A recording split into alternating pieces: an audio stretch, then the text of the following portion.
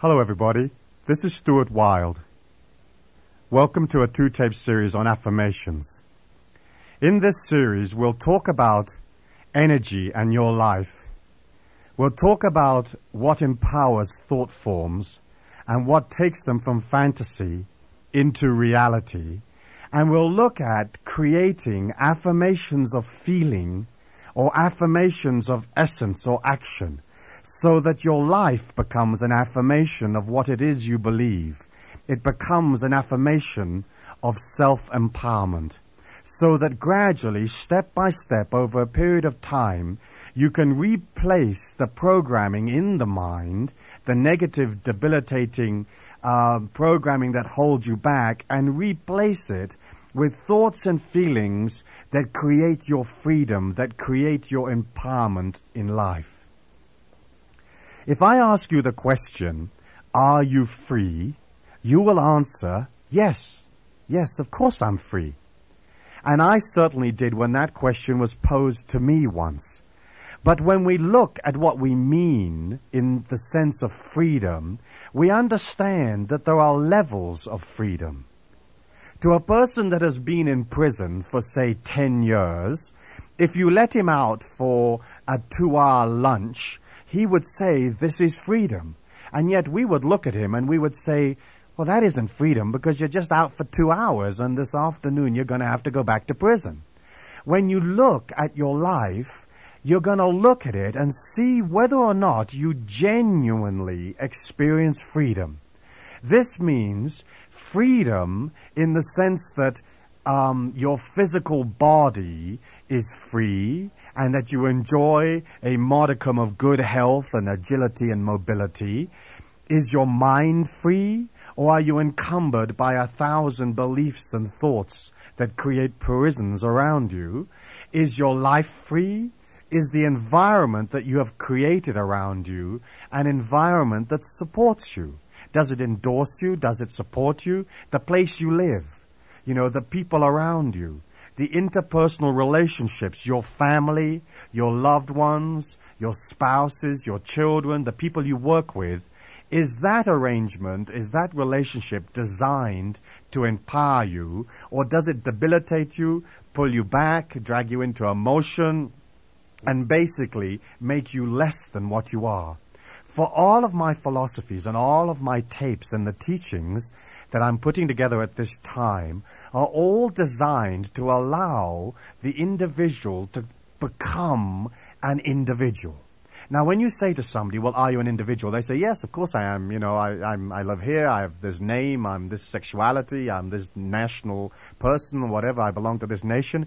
And they believe they have individuality. But I want you to look today at exactly how much individuality you express? Or do you express an individuality that is basically a rehash of other people's ideas, other people's religions, other people's philosophies, other people's uh, sayings and thoughts, other people's feelings, other people's uh, ideas? And then as we look at exactly what makes up our life, we begin to look at each and every aspect. And also, we're going to look at the finances in your life, the creativity. Are you free in those areas, or are you controlled by other people? And as we look at that, you're not going to, let's say, bash yourself up. For, this is not a witch hunt, or it's not a way of saying, let us look at the negativity in your life. It is saying, let us step back from our life, or from your life for a moment. Let us step back and let us, in a non judgmental, non critical way, look at exactly what it is you live, what exactly it is in an energy pattern. As you look at your life, you understand that your life is energy. Your body feels physical, and you experience it in the physical dimension, say, but of course it is not. It is basically consciousness. Of course, your thoughts are consciousness, your physical body is consciousness, and the physical plane that we live in is also consciousness. Now, you could look at a mountain and you could say, well, that is a solid mountain. And you're correct. It is solid because the atoms and molecules are moving. approximately at the speed of light, and that is what makes the mountain solid. However, within the atoms, there is very little solidity, and basically most of the mountain is not solid or not there. And the physical plane, the planet we stand on, the solar system and the universe we live in, is basically thought form or consciousness, but a different kind of consciousness than the consciousness that we experience when we engage our mind in thought. But it is consciousness. And so what you are is a conglomeration of thought forms, feelings, attitudes, and physicalness that go to make up your life. And the life that you lead, the life that you experience, is a reflection of you, the inner you, and of course also the outer you.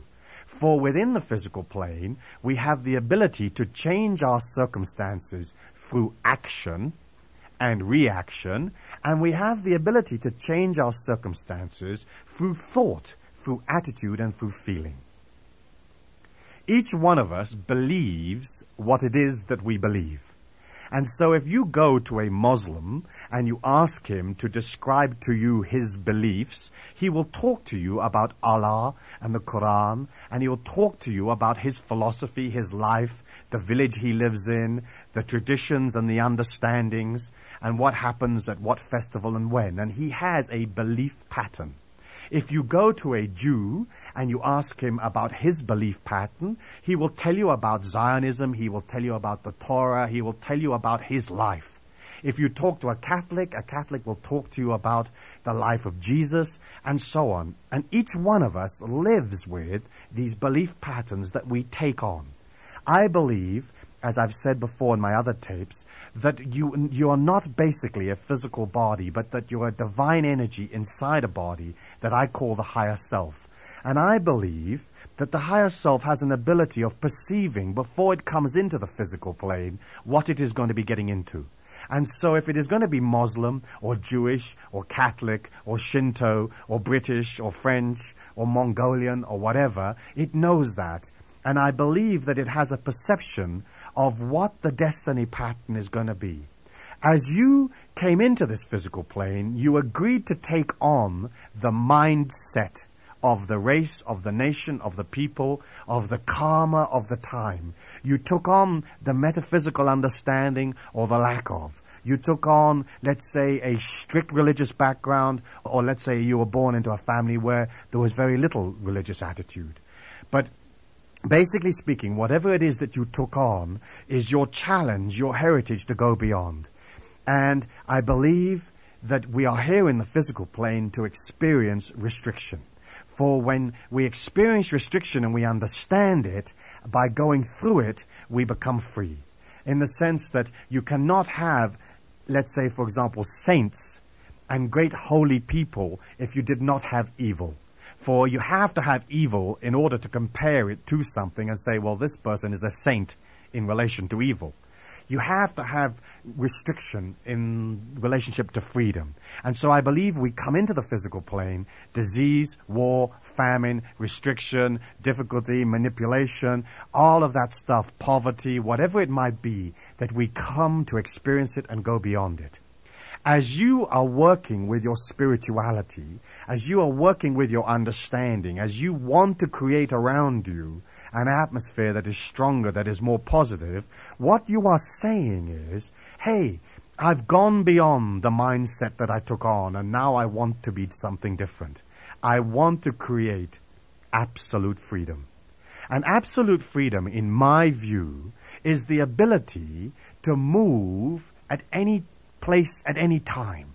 It is the ability to walk out of the door tomorrow morning and never come back. It is the ability to have enough money around you to do those things that you want to do. So if this day you decide to walk out of the office and go to Peru for six months, you can do it. And if you can't, you're not free. It is the ability in the physical sense of having a body that is under control. It does not necessarily have to have absolutely no ailments within it, but at least it's under control.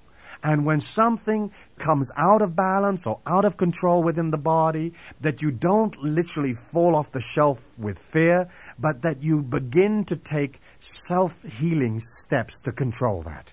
And if you don't know how to control that, or you don't understand, or you are imprisoned by the difficulties that are there, then you are not totally free. And I would ask you to look at becoming free or freer. Okay? In the sense of interpersonal relationships, we have to live on the earth plane with other people. Some of those people are very close to us, our loved ones, our families, and so on. And as we begin to live with other people, we understand that we, each one of us, is individual. You are an individual. You are not somebody's wife or somebody's husband or somebody's mother or father or the son of another being. You are an individual, infinite, higher self inside a body.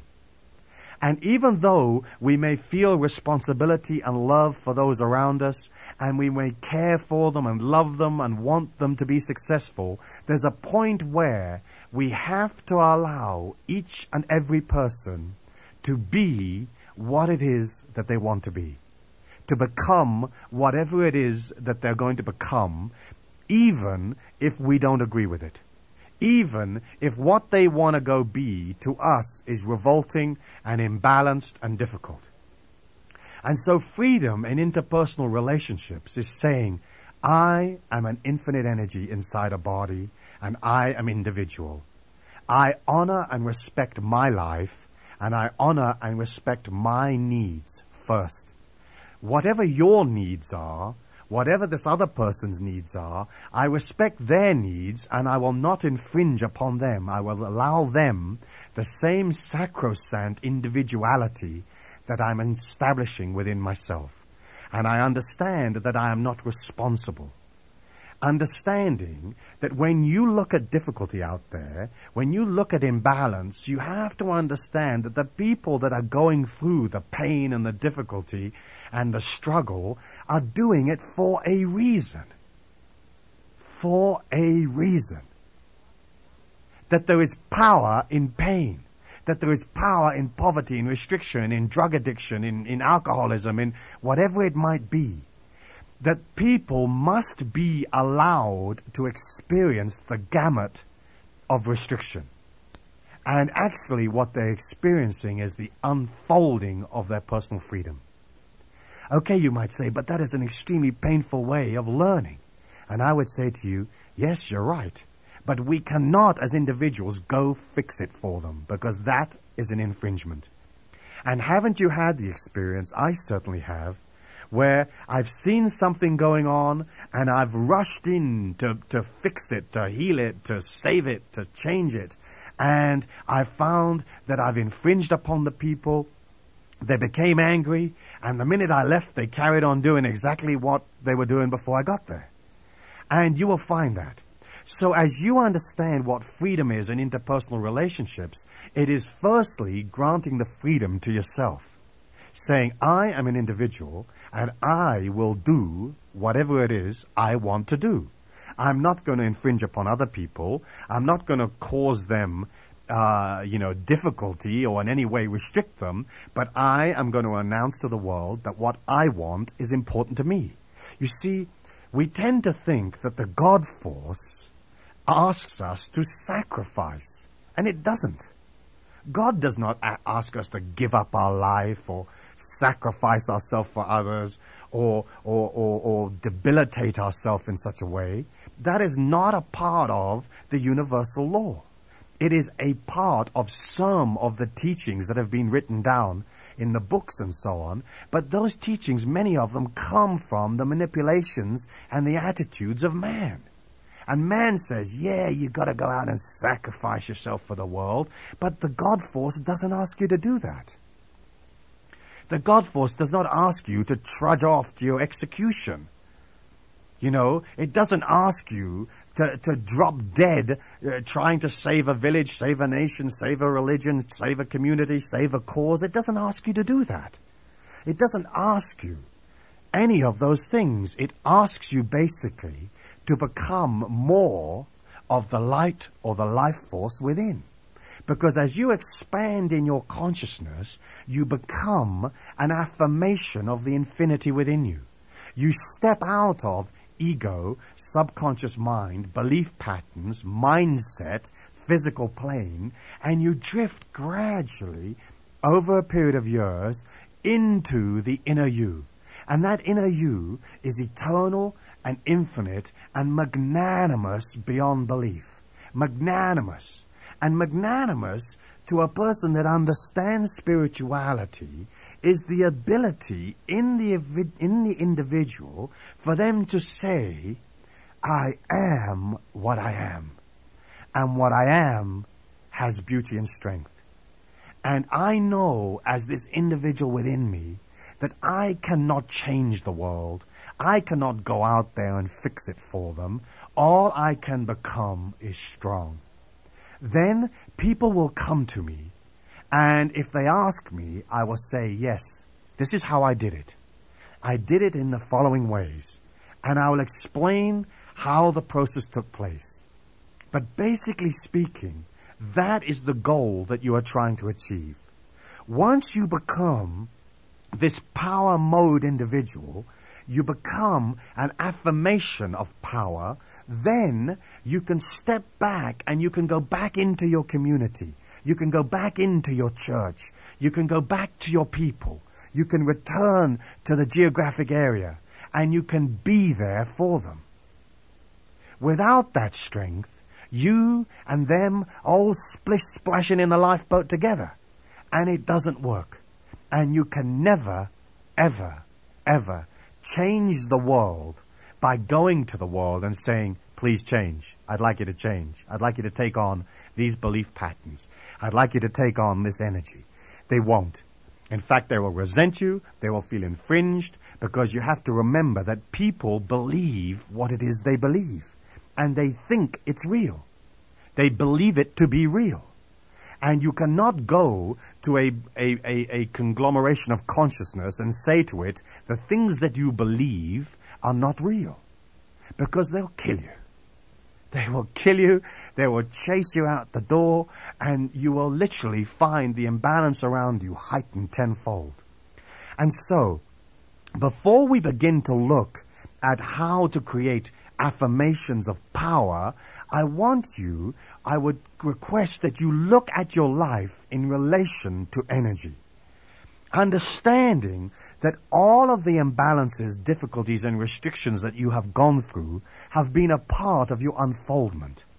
And you can forgive yourself for your failings. It's almost as if you would look at your limitations and you would fall in love with them. And you would say, hey, these limitations that I've had, these imbalances, these difficulties that have been with me over these years, I'm falling in love with them. I love them. Look how neat I was. Look how wonderful this was. I created this absolutely humdinger of a disaster. But wasn't it neat? Because within that disaster, I learned about myself. And the people that were in the scenario of the disaster with me, say, they learned about themselves.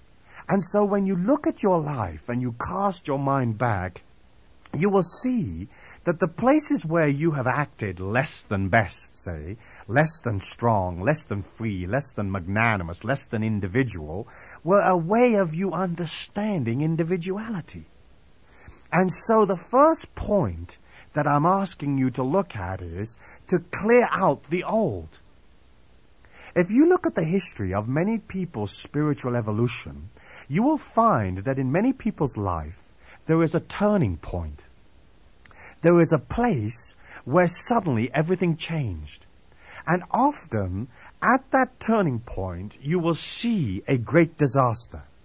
You will see a bereavement, an accident, a bankruptcy, a, a disease, a near death experience, some kind of immense trauma. And when that trauma took place in the person's life, it was almost as if the trauma created within the individual a click. A click that opened a door. The reason this is so, and the reason why disaster can be so neat and so useful is that it is in a disaster that the ego or the basically personality foundation that you have within the psyche, okay, is rattled. Normally speaking, you will go to an individual and you will say, hello, and they will say, hi, I am John Smith, and I'm this and this and this, I live in this area, I do these things, and they will describe to you the pattern of the feelings and thought forms that are around them and within them. And it is impossible to shake those thought forms. However, if suddenly John Smith crashes into a truck at the stoplight and winds up spending four months in hospital and nearly dies and every bone in his body is broken, the ego takes such a bashing, the sort of, the, the pomposity of the self-image takes such a bashing that it literally retreats. And when it retreats, the higher self can come around and bring forward to that individual a new perspective. It is almost as if you would come into the physical plane, you would have one incarnation, okay, and then at some point suddenly there's this crescendo of energy, bang, and suddenly you would come out of it the other end a new person, a new incarnation. And that happens to people all of the time. And you can talk to it, and I'm sure perhaps it might have happened in your life. It certainly did in mine. And I had one of those crescendo disasters. And suddenly my whole self-image fell totally to the floor. And in picking it up and reconstituting it, I began to look at myself. And I began to take on, uh, you know, new ideas. I read books. I went to courses on mind control, on meditation. I studied as a medium. I trained. I went to the pyramids. I, I began to look and study and say, hey, what is this around me? What is consciousness? What is belief pattern? What is energy? You see, your life as energy is basically you experiencing yourself. Thought forms are created from within the mind, and depending on their strength, and we'll discuss this in the next tapes in this series, um, but depending on the thought strengths, it creates around you a mantle or overcoat. And you walk through life with this layer of thought form around you. And then as a physical being, you interact into the dimension of the physical and you pull to you thought forms and feelings that are congruent to your own. The same as your own. And so if you are interested in motorbikes and marijuana, you will ride a motorbike, smoke marijuana, and gradually you will find other people that ride motorbikes and smoke marijuana. If you are a Methodist and you enjoy making quilts, you will find other Methodists and you will join the Methodist Quilt Makers Club. And that is life. And so as you look around you, you can see the strength and the power that you have within you by looking at what is around you. If you are surrounded by powerful, creative, freedom-seeking individuals, that is inside of you. If you are surrounded by restriction, limitation, manipulation, then that is around you as well. Now, this is not intended to horrify you or shock you or in any way make you feel uncomfortable, but it's saying that no matter where each one of us is, at any one given moment in our life, in our spiritual quest through infinity, there is always a point out ahead that is freer, that is brighter, that is more endorsing of self that is a greater amount of the inner light. Each one of us believes that the dimension around us has beauty. And you could go to a person that lives in absolute squalor, in the most restricted, difficult, and unpleasing situation, and you could talk to him and he would describe the beauty of the dimension he lives in. And the dimension that you live in, the physical environment, the thought forms, the feelings, the affirmations of essence around you, that is, those things around you, you will say, this has beauty. However, to a superior being or to some great master should happen through, say, for example, he would look at that and he would not see it as beautiful as you. So the first point that we're going to look at as we clear the deck, so to speak, is to understand that in order for new or change to come about, you have to subjugate the ego. Now, obviously, hitting a truck at the stop sign's one way, but the other way is to begin to look within yourself. And looking within is constantly reviewing your feelings, your thoughts, your attitudes, reviewing the results of your actions, and understanding what parts of your life are ego based, are self serving, and what parts of it are not. What parts are spiritual and magnanimous, and what parts of it are restrictive and manipulative. And if you can do that, you don't have to go have an accident or a serious disease to create the change. You may want to go to a to a, a seminar or you may you may want to read a book or listen to a tape or something that would change your attitude or change your life, but you can create that within you. As you look at the dimension around you, it is important not to become too smug or too self-satisfied about what it is you are. Because when a person believes that they are this, this sort of incredible being, that stops them from moving forward. And so what we understand when we look at self-image in the metaphysical spiritual sense of the word is, we look at saying, I am what I am. Meaning that I have integrity. I have this infinity within me, but I also understand that there's an awful lot of energy out ahead of me that I'm not a part of yet. But developing centering upon this power inside of me and having the courage and the bravery to go beyond the limitation, beyond the mindset that I have, that I can achieve a new height within me. When you can sit down and understand that everything that you believe is basically not real and only becomes real because you believe it, then you can say, hey, these beliefs, these thought forms were neat. Now, let me go through the library, let me go through these layers that are around me, and let me see which parts I could give away, which parts I could get rid of, which parts I could unclip. And can I step from this day believing less than I did yesterday? Because the life force, this light within all things, the God force, does not ask you to believe this or that or something else. Okay, only man does that. So one group, a religious group, will say, well, you gotta believe this to be righteous. And another religious group will say, no, no, no, you gotta believe that to be righteous. And there's 55,000 Christian churches, and then let's add in all the others. You know, each one of us believes what we believe to be the righteous path. But of course, the God force doesn't give a damn what you believe. It isn't involved in that kind of judgment. It does not judge you. It does not look at your mistakes and say, nah, nah, nah, nah, nah, nah. It doesn't do that. It allows you to look at your own mistakes by experiencing them. And so, before we move on to affirmations of power and affirmations of thought and word and feeling, let us take a moment to take stock of what we are. Let us look back through our life, see the strengths, see the successes, honor the disasters for what they taught you, and understand that whatever you have experienced to this day in this life of yours so far has been beautiful. And you created it. You pulled it to you.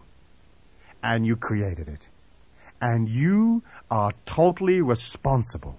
As you can say, I am responsible for this life of mine, that already becomes an affirmation of consciousness an affirmation of power within that very, very thought form.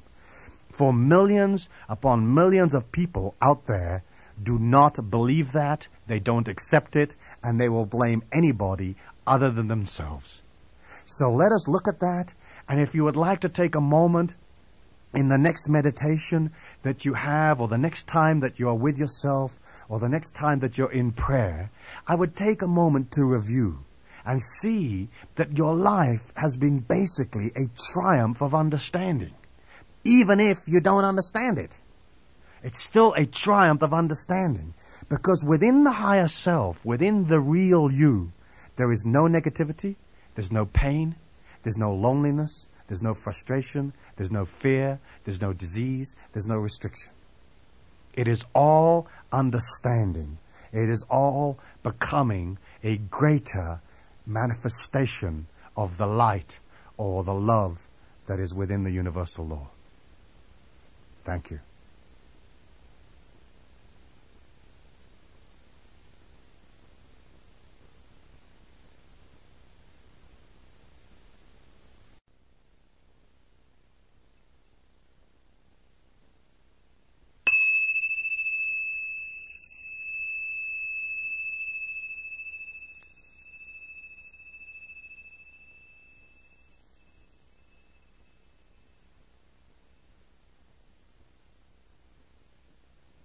On this side, we will look at affirmations of power.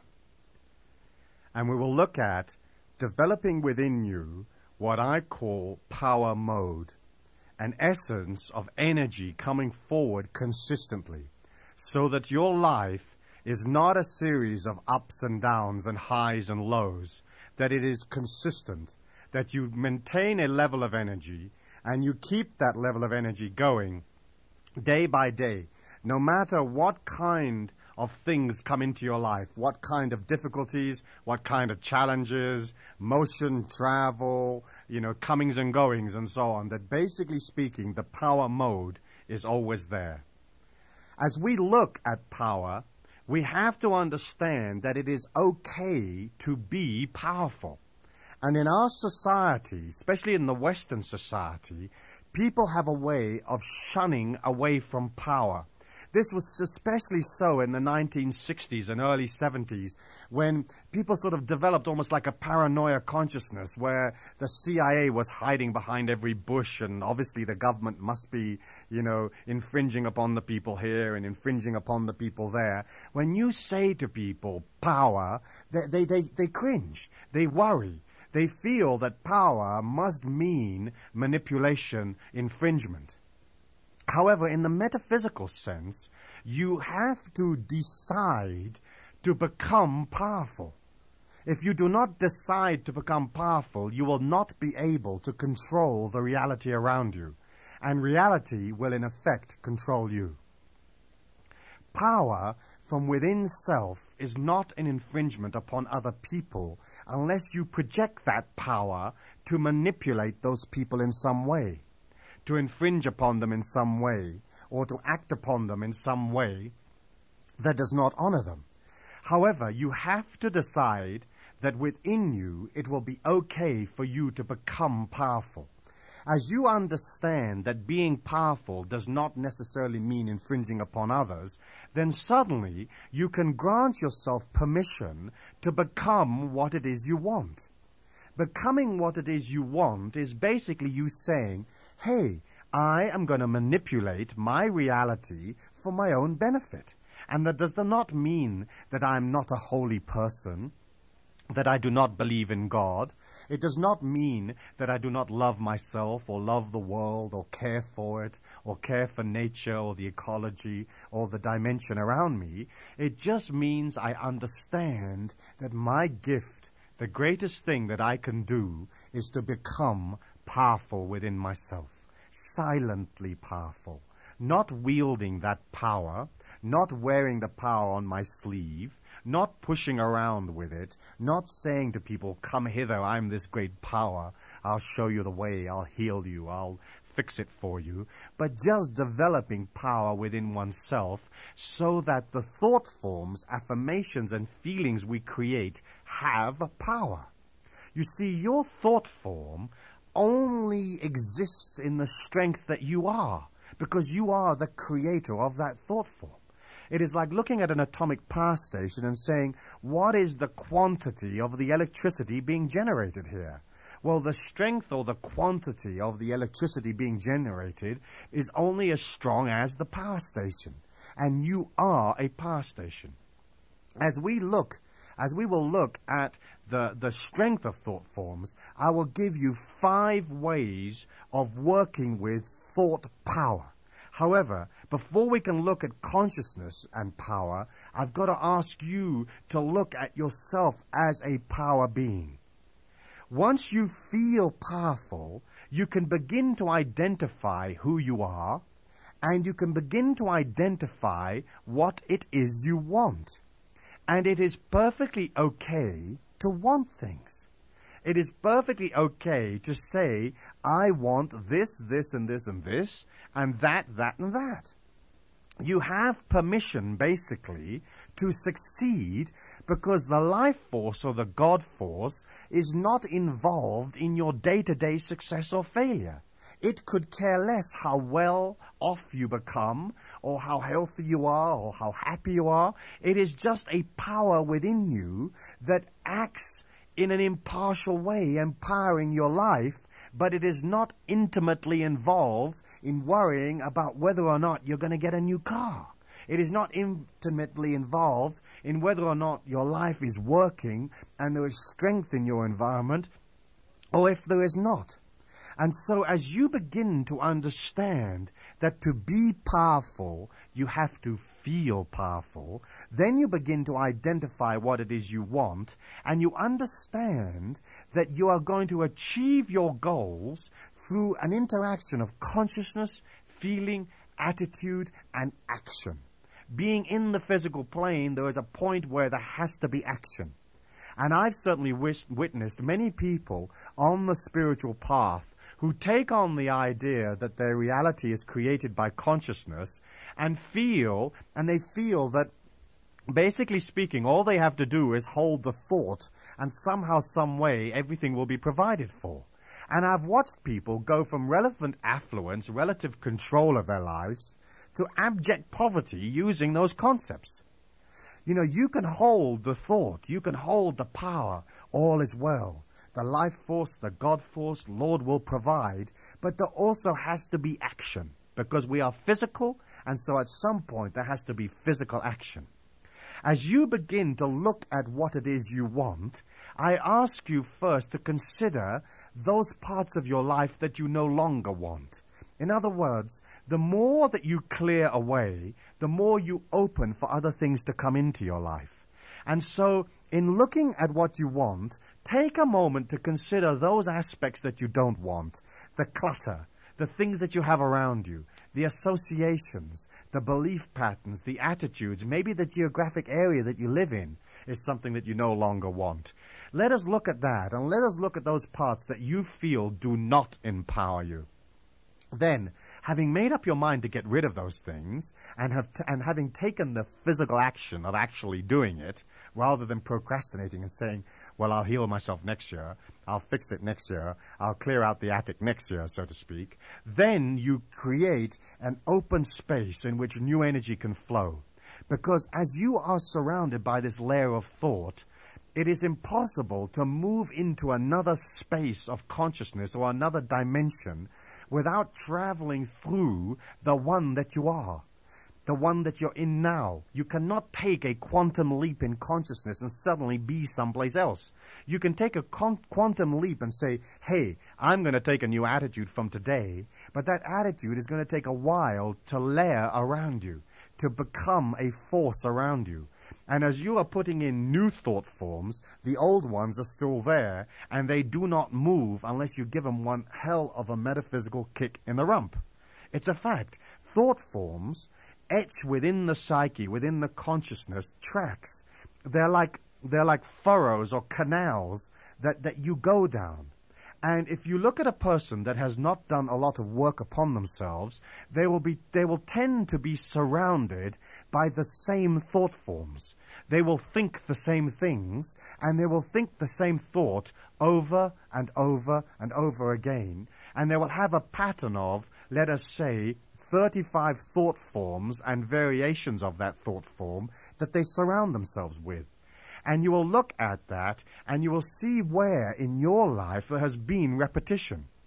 Where there is the same thought form coming back over and over again, regardless of your physical circumstances or the dimension that you're in. I'm not just thinking of thought forms of, say, fear or thought forms of, of, of lack of self-confidence or something like that. But there's other thought forms that we have, you know, sort of various fantasies that we live that come around in our mind over and over again. Various fears. You know, let's say the fear of being ripped off. And you'll find that that maybe, say, comes into your mind over and over again in 95 different variations, but it's always there. You are this conglomeration of energy that is characterized or shaped according to the belief patterns and feelings that you have. And to change that, you involve yourself in an inner tussle. This tussle of you saying, I am power. And your mind responding, no, we're not. You know, you saying, I feel good today, and the mind saying, hey, we feel lousy, and we feel that somebody's going to steal our car while we're in the movies. That kind of energy pattern is not something that you can turn, push against, and have it melt away. You can't melt, uh, you know, a million thoughts just by having a different thought. What you have to do is basically understand that the tussle will be continuous. And as you gain more and more ground, like an advancing army, you begin to consolidate areas within your psyche, within your thought forms, within your personality, and you win those areas over to a new energy. So you might say, I want to become a free, individual, positive, powerful person. Great. Okay, now step one is to make a move against, let's say, those parts of your mind that honor and dwell in fear. Okay, you might push against that fear with affirmations saying, I feel in control, I feel powerful, I understand that this fear is not rational, that it is coming forward from old programming, old stories, old films, old things that have gone on, old tracks inside the mind. I feel strong today. And you would go out and you would leave your car in the parking lot and you would not lock it for the first time, say, in 10 years. Feeling that you had the power within you to hold that car safe. That you had the power within you to do the shopping without worrying about the car getting stolen. Okay, as you begin to push into those areas, the mind, the ego, the personality, the whole psyche will push against you because it is not going to let you win the ground. The psyche or the ego has a way of making you sick to control you. It has a way of making you fail to control you. It has a way of making you scared to control you because it has a personality of its own. It is a conglomeration of consciousness that is a person. And it's as if there's two of you in there. And each one of you is battling for control. And so, bit by bit, as you develop power around you, you develop a foundation on which your army is going to gain control. Without power, you'll have a thought form, you can have a fantastic affirmation, you can walk out of the day feeling great. Hey, this is a sunny day, I feel marvelous. And suddenly, bang, something can happen. It'll just knock you right off your horse. So, we're looking at creating an ambience of power around you. First of all, I'm going to ask you to write down on a piece of paper 10 things in your life that you want. Now, if you don't have 10, then write 3 or 5 or as many as you things as you have. There's no reason why we pick 10. It's just an arbitrary figure. But let us write down those things that you want. Then, when you begin to look at or meditate upon those things you want, you may find that when you really truly feel it out, you realize that you don't actually want that. You want something that is associated to or close to that. So you may want to, say, move from the town that you're in and go and live in a city a thousand miles away, and you may say, I want that. But actually, when you look at it, what you're saying is, I want to create a fresh energy within me, a energy of change. And you represent that in the mind as saying, hey, I want to move to Chicago. Where in fact, you can probably create the energy change across the street. However, as you look at the things that you want in life, I want you to begin to formulate affirmations of power around you that are actually going to deliver the things that you want. The first affirmation of power is you have to have intention. You have to actually want it. So many times we think we want something and we have absolutely little or no intention of going and getting it. How much or how many of those things that you want are real? Do you actually want them? Do you actually need them? Is it important to you? Or is it just a daydream, a fantasy, one of those, oh, wouldn't it be nice to spend six months on a beach in Hawaii, that kind of thought form? which is, is that actually what you need? Maybe it isn't. Maybe it is. And so as you begin to look at what it is you want, we're going to look and see how strong the intensity is. Think of this. How many times in your life have you, let's say for example, been in a situation where you're desperate? You know, like there's some desperate situation has come around you and you absolutely categorically have to have $300 by Tuesday, otherwise all sorts of mayhem is going to happen to you. And somehow, some way, the universe or the God force provided it. Somehow, some way, you were saved or the situation was fixed. Okay, what created that? Was that some kind of sort of metaphysical breakdown service, or was it the God force with its sort of little breakdown service coming along and saving you because you needed it? No, it was the intensity of your need. It is the parabola or curve of the thought form is so tight, so concentrated, so desperate because of your need that you literally forced reality to give you what you want. It's as if you forced the universal law that your density was so strong that the congruence, it pulled to it a congruent thought form. You know, hey, I need this by tomorrow, and suddenly, from out of the clear blue sky, there it was. It was the intensity of your feelings, the density that literally attracted. The same way as in the physical plane, a large planet will attract to it a small moon, because of the density of the large planet in relation to the density of the little moon, the density of your intention, the concentration of your intention pulled to you in desperate times, that saving energy, that saving situation. Okay, as you identify what it is you want, you understand that those things that you do not really want, those things that border upon fantasy or daydream, you will never have. You will only ever accomplish those things that you genuinely feel you can materialize from within you, that you genuinely have an intensity about. And if your thought form is wishy-washy, or it doesn't have the power mode that we're talking about, it will never come about, or almost never. As you develop intention, you also have to lock into that intention dedication. And dedication is another one of those power mode energy bases that will lay the foundation for you. Most people quit a long way before the end. They quit before they get what they want. If you can understand that you, you look at what it is you want, you hone it down to those things you really want, and then you lock in dedication, that is consistency, you will find that the universal law has to give you that thing that you need or that thing that you want. Because your ded- dedication is an affirmation of power. It is you saying, I will never quit. I want to become an architect and I will never quit until I become it.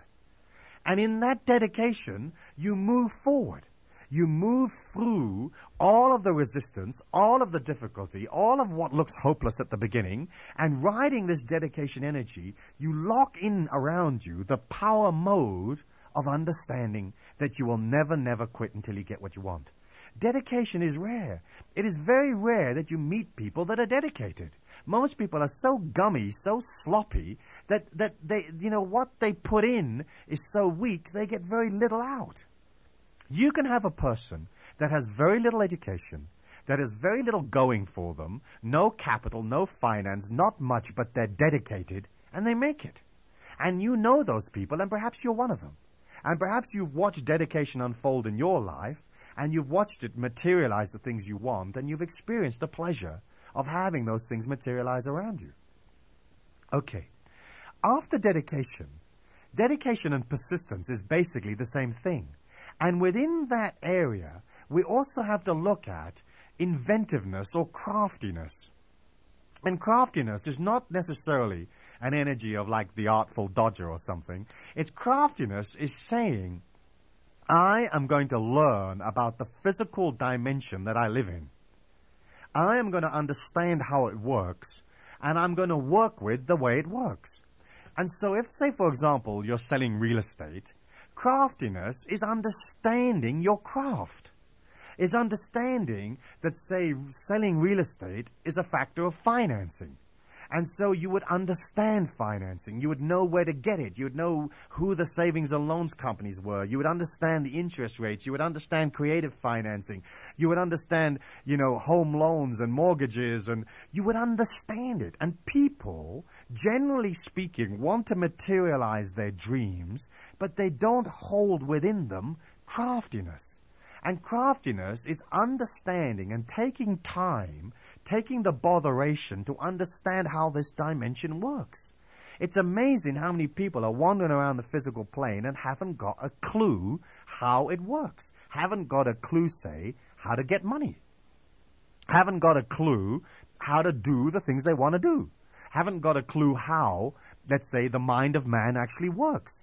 If you do not understand how people work, what motivates them, how would you get them to do what you want? So in understanding craftiness, you understand that thought form is an affirmation, feeling is an affirmation, but craftiness is also the ability of understanding the physical plane, understanding people, understanding psychology, understanding in your area of expertise how the system works. If you do not have a skill, if you do not have a knowledge, then you have to develop one. Most people are not very good at what it is they do, and so they don't get paid a lot.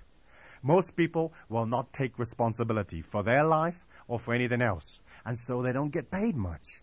A person, let's say, like the chairman of a huge car company, who maybe earns a million, a million and a half, two million a year, gets paid that kind of money because he or she is open and wide and big enough to accept the responsibility of something as big as that. You do not get paid for being little. You get paid for being big, for taking the responsibility of being big. And so as you look at what it is you want, you will look at the dedication, you will look at the craftiness, and you will look at creating an energy of persistence within that. All of these things become affirmations of power. They become affirmations of dedication. Some years ago, I was with a group of guys, and there were about 40 men, and we were on a project, a building project in Southern California. And one day, at a sort of staff meeting, the director of the project said, I bet that you guys cannot dig a hole the size of a house using no mechanical equipment in less than two days. Well, we all took upon ourselves this challenge. And we went out to the building sites, and with just picks and shovels, you have to imagine a hole the size of a house, it's big. I mean, it's like 60, 70 feet one way, it's 30, 40 feet the other way, and it goes down, you know, like 60 feet, 50, 60 feet, because that's how high the house would be if you had the two stories and a roof and a chimney and so on. So we began to dig this hole, 40 people. There was no pay involved, it was a bet between us and the director of this project that us 40 guys could dig this hole. Well, as we began to dig, we, we, you know, we were digging steadily. You know, we started about six o'clock in the evening, and sort of later that evening, it was a, it was sort of I think in the summer or close to the summer anyway. It was sort of stayed light to about eight or nine at night, and we realized that even after four or five hours of digging, that we hadn't made a lot of progress. So we obviously realized that in order for this project for us to win the bet, we would have to dig all night. So we found some some some lights and we rigged up these lights and we began to dig. And as as we began to dig through the night, okay, it began to rain. And as it rained, the the, the dirt in the hole became more and more muddy. And as it became more and more muddy, it became harder and harder to dig, and it became harder and harder to take the earth from the hole out of the hole. Because as the hole got deeper, the climb that we had to get the hole out got steeper and steeper. And so, bit by bit, round about, let's say, four o'clock in the morning, we really felt that we, we had been defeated. You know, like there was no way that we were ever going to be able to dig this hole in, in, two, in two days. And then suddenly, some guy came up with this simple little idea of rigging up a system of like ropes. And so there would be one person would act as a mule, and he would be roped to the wheelbarrow, and he would haul the wheelbarrow, and somebody else would push and with this sort of mule system, where you had a mule in the front hauling the wheelbarrow, we found that we could get the earth up out of the hole even though it was raining. Well, by about 9 or 10 o'clock the following morning, it stopped raining. And we pushed past We pushed with dedication, with persistence, and with the craftiness of this guy inventing this system with the rope and, the, and hauling the barrows up, and we began to dig at a steady pace, putting one consistent amount of energy on top of the other. Layering energy, let's say, laying one amount on top of the other. And nobody slept. And from time to time, you would take a break, but you would go to the side of the hole there in the building site and you'd lie down in the sun for an hour or two and rest. But bit by bit, everybody became energized by the project. And, and of course, what happened was that as the energy of these guys digging in this hole, digging with this mule system, inventing the craftiness, bit by bit, we began to get stronger and stronger. And through the second night, there was this power of these people digging all of the time. There was earth moving all of the time. And there was this symphonic arrangement where you had all of these guys in the hole and nobody hit each other or there was nobody like got a pick in the head. And bit by bit, as we came into the second day, we realized that we were a little bit behind the schedule, like we were going to lose. And so these men that hadn't like they hadn't slept for a day and a half and they'd been literally doing this incredible physical digging, they began to move faster they began to lay power affirmation upon power affirmation.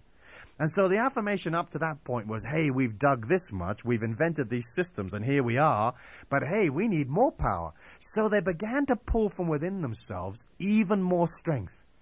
And they began to run.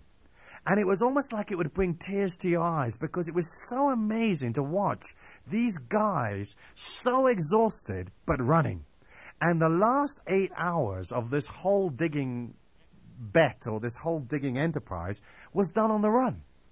And in the last sort of 45 minutes, when the project was coming nearing completion, the speed that these men moved at was like literally almost at a sprint. And the hole was finished to dimension and size exactly perfectly with about 15 to 20 minutes to spare. So it took the whole of the first day and 23 and three quarter hours of the second day to make this thing happen. But they completed the bet. They completed the hole. And as you look at developing power mode around you, you will find that as you layer thought form upon thought form, you will create around you energy. Then you may find that you have to pull from within you to create even more energy. But as you become energized, moving towards those things that you want, you will find that in moving towards them, using the craft that you have, understanding persistence and dedication, you will be able to materialize those things that you want. And coming into that understanding as you go, you will begin to, to feel a freedom. You'll begin to be able to say, I can do it. I can materialize those things I want. And basically speaking, you will experience your word as law. Now, we've discussed that topic in my book, The Force, a little bit, but let me just discuss it here as it applies to affirmation. When you were a small child, you would come up with ideas. You know, you would say, hey, I'm the big chief of the Uliguli tribe. And your dad would say to you, ah, shut up and get in the car.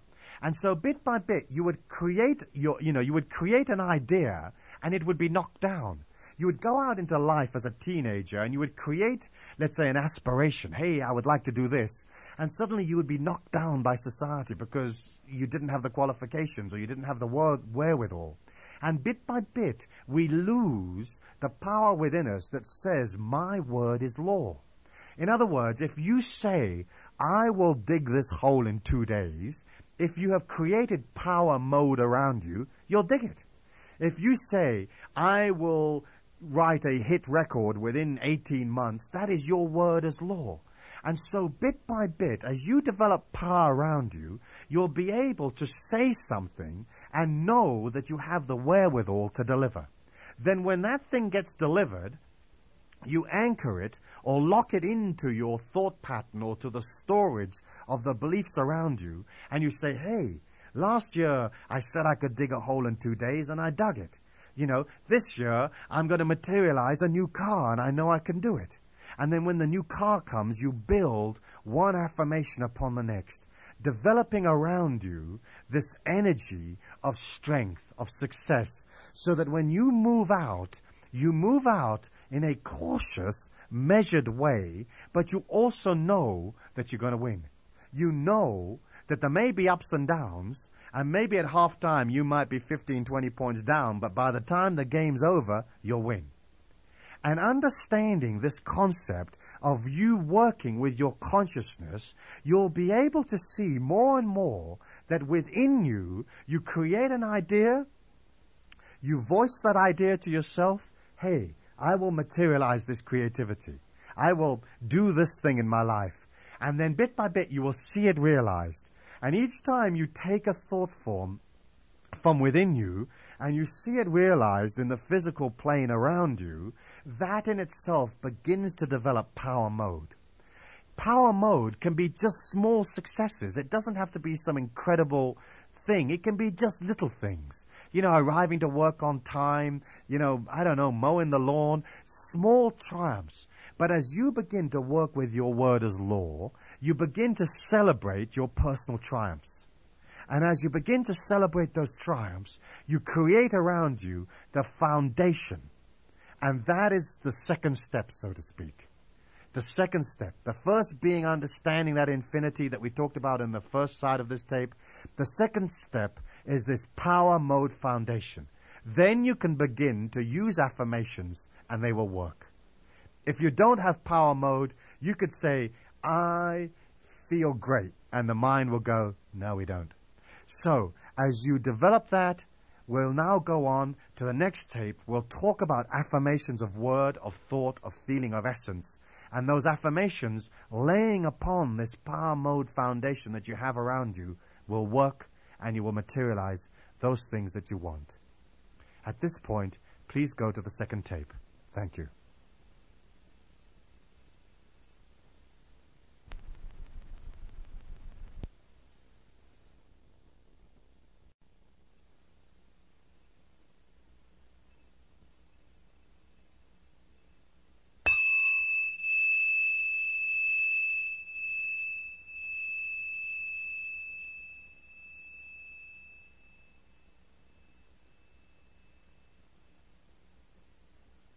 In this tape, we're going to look at affirmations of thought and feeling. Basically speaking, an affirmation of word is a verbalized thought form, is it not? And as we use these affirmations, what we're looking at is creating a feeling of control. As I said, are you free? If you do not control each and every aspect of your life, then you're not free.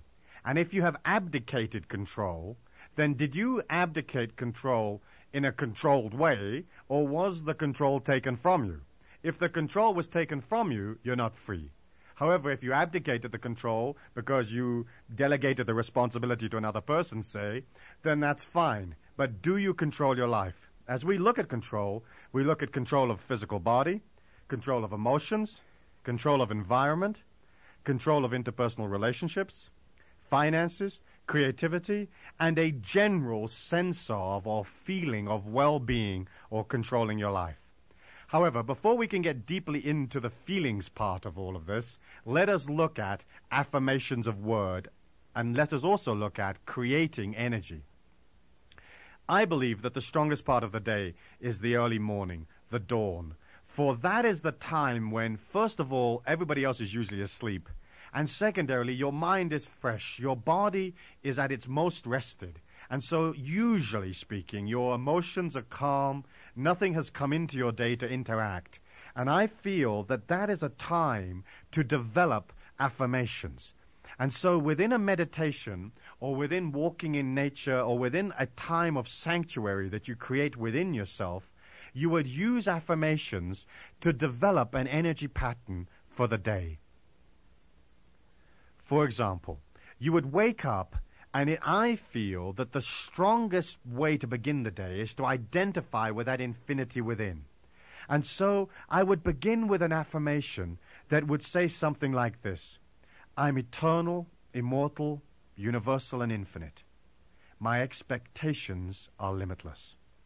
And there you are saying, hey, I'm in a physical body. I am a mind. I'm a personality. I'm a person. But I know that inside of me there's an infinity and I'm aligning and identifying to that, to that energy. Going on from that, I would use an affirmation that would, would incorporate the day that I'm about to enter into. And so an affirmation that I put, that I use a lot, that I like, goes like this. This is my day. I control each and everything that comes to me. I accept complete responsibility for my life, for I know that I am power. So be it. And here with this affirmation, we're layering another thought form on top of the first one, a thought form of saying, yeah, you know, I control this day. I have power. And whatever comes into this day is going to be a reflection of the inner me. And I know the inner me is stronger and getting stronger and I control it. And then I would go on with an affirmation like this. May the beauty of this day unfold deeply from within me. May there be energy and strength at all times. And here in this particular affirmation, what I'm looking at is establishing a power and saying, hey, I need this power to take me right through the day. Because to feel good for the first hour and then to feel lousy for the rest of the day won't work. We're looking at trying to create a strong energy and maintaining a balance all the way through the day so that there are no energy peaks or valleys and that we're basically keeping an equal energy throughout the day and understanding that the world, the environment, tiredness, the acidity of the physical dimension will have a tendency to try to pull your energy back all the time. And you're going to resist that. You're going to do things, exercises that I will teach you, things that you're actually going to do, affirmations to hold that power all day. Because if you have an affirmation or you create an affirmation in the early morning and then you come out of your house and you fight with your neighbor about the parking lot or who's going to clear the snow in front of the yard, then everything that you've layered in the early morning is lost. And then if you got involved in a confrontation like that, you would have to take time to pull back within yourself to reestablish that power. Because the power will constantly want to slip away. Going on with these affirmations, you know, you, you're basically trying to, to maintain a strength in all areas. And so I would go with a, with an affirmation also that dealt with my physicalness. And I would say something like, may the freshness of this day vitalize and heal my body. May there be balance and power at all times. Layering again the same thought form upon the other. Understanding that dealing with affirmations of words, you're going to be dealing with your words, not necessarily my words. Because each one of us has words which mean powerful things to us that do not mean powerful things to another person. When I was a small boy, I went to a very, very old, old English school, a boarding school, and I went there when I was 10 years old. And it was a religious school, and it was very, very strict, and, and there was a lot of religion. And as a part of doing the religion, we had to do a lot of praying. Well, you can imagine the attention of a small 10 year old boy tends to wane within about 30 seconds, and to sit through a ceremony each morning that takes an entire hour was very, very hard. And so we would make up words for the prayers. We would make up our own prayers. We would change the prayers to amuse ourselves because we had to kind of somehow survive, you know, the ceremonies that we had to go through each day in the early dawn. And so, for example, in the Lord's Prayer, we would take some of the main words of the Lord's Prayer and we would substitute the names of suburbs of London, towns and suburbs that are in and around uh, the city of London. Well, you have to really understand London and its suburbs to get the joke, but the, the Lord's Prayer went something like this. Our Farnham, who art in Hendon, Harrow be thy name. Thy Kingston come, thy Wimbledon, in Esher as it is in Henley. Well, I won't go right through the whole of the prayer, but that was basically how we kept ourselves am- amused as little boys in this church. And the words, our Farnham, who art in Hendon, are power words to me, because my subconscious mind has heard them and said them a thousand times. Now you would say, well, that's ridiculous, Stuart, but it's not. In a moment where I would need energy, our Farnham Wharton Hendon, Harrow be thy name, is strong for me, but of course it won't be strong for you. So as I give you affirmations of words that you might want to work with, you can use mine, or you can develop the power words that mean something in your language, in your mindset. This day, I express love to each person that I meet for I know that I am truly lovable. And when you think about it, if you do not feel lovable, you do not pull people to you that love you. You have to feel lovable. If you're in a cloud or in a haze or you're angry with yourself or you're frustrated, then the people around you will reflect that. And they'll be angry and frustrated. Or they will feel the same kind of restriction. So by creating an energy of feeling lovable, you pull to you love. You pull to you people that are interested in basically supporting you, endorsing you, empowering you, that will be open to your ideas moving through the day, of course, most people will be going to work or developing some kind of creativity. And so from those feelings of infinity, of love, of understandings, I would then work with some kind of affirmation about your financial affairs or the totality of abundance that you have around. An affirmation that I use goes like this. The universe is abundant. Therefore, I feel abundant. My expectations are limitless. And as you work with that, you understand that there is no limit to abundance. In the old philosophy of the mercantile system that was put together many hundreds years ago in Europe, it was believed that there was a limit to the total wealth. And so during the war with Napoleon, England sold boots to Napoleon's army thinking that by selling him boots, they would be taking his money and they would be weakening him. What happened in effect was that his army marched with the boots into more and more countries. And as they conquered the new countries, they got more and more money, and so they could buy more and more boots. And so the system didn't work. Basically speaking, there is no limit to wealth. You're becoming rich, your feeling abundant, your being abundant does not take wealth from other people. It does not take wealth. In fact, it creates it. Because if you become abundant, then usually what will happen is that you will spend your money, you will distribute your abundance, you will invite people to partake of, of your abundance, and so your becoming wealthy helps others to become wealthy. And again, in the same way as we looked at power, we're also going to look at abundance because you cannot become abundant if you do not concentrate on abundance. You can't become wealthy if you think that money is evil or that it is not holy to be wealthy. You know, you have to understand that the universal law, the God force, is naturally abundant, and that is the natural state for man. All this stuff about poverty being neat or poverty being holy, it was just way that man used to manipulate other men, because that is not how the God force manifests. The God force is perfectly delighted with how abundant you become, providing, of course, that you do not inflict restriction upon other people. And it's not as if the God force even says to you, hey, don't restrict these other people, because there's plenty of it going around, is there not? All that we say is that if you restrict others, then in turn you create around you a dimension of restriction, and sooner or later something will come forward to restrict you. So as you work with this meditation in the morning, or you work with these affirmations, you understand that you have this intimate relationship with the environment around you.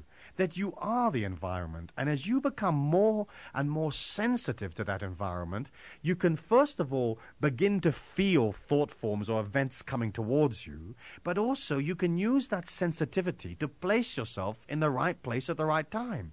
Because many things, whether it is finding the love of your life or or making money in a deal or being accepted as a great violinist or whatever, most of those things are being in the right place in the right time. And so you're going to develop a sensitivity and a a relationship between your inner feelings and that world that you're moving through. An affirmation that deals with this would be each and every day I am becoming more and more sensitive to my surroundings. I am always in the right place at the right time. And that kind of affirmation sets up that understanding that the inner you and the outer you are one and the same thing. And so, as you understand that, you'll find that you have control, that you're beginning through power mode, power play, power thought to develop control around you. And as you develop control, you're not being chased by, by two tigers, say, then from within you, in the silence and in the quiet, will come creative ideas. Ideas of how to express yourself. Ideas of how to add to the totality of the beauty and the love in the world. Ideas for making money. Ideas for making your home work in a better way. Ideas for lightening and changing the environment. And dealing with that, or dealing with an affirmation of that, you may like something like this. May the beauty of this day unfold strongly. May the creativity within me manifest to its highest possibility and understanding that basically speaking, all creative endeavors, whether it's building a bridge or driving a racing car or painting a painting, start off in consciousness. A bridge is the result of 237 people's consciousness. The designers, the builders, the, the people that locked it together, the people that, you know, it is basically consciousness. And so you will understand that if you do not have creativity within your life, then all we're looking at is enhancing the flow or the stream of consciousness coming from within. As you work with this, setting up the energy of the day, I like to walk in nature because nature expresses the life force in purity, beyond emotion, beyond judgment, beyond intellect. And as you lock into nature, you lock into the vitality around you. You lock into the sun shining upon you, warming your body. You lock into the beauty of the birds, the nature around you, the trees, the vegetation. And by being alone for a quiet moment, and it doesn't have to be a performance. You don't have to sit on a rock cross-legged and, you know, om yourself for four hours. It doesn't have to be that complicated. It can be just maybe on your way walking out to the car, you would take a detour and you would walk around the flower beds and you would stand there for three minutes. I am power. I am eternal, immortal, universal, and infinite, and I control my life. I am establishing absolute control over every aspect of my life. And that locking in nature allows you to feel the purity that's there, to feel that the day is your day, then, as you move through the day, there will be a thousand various thought forms. You're going places, you're doing things, there's actions, the phone rings, and so on.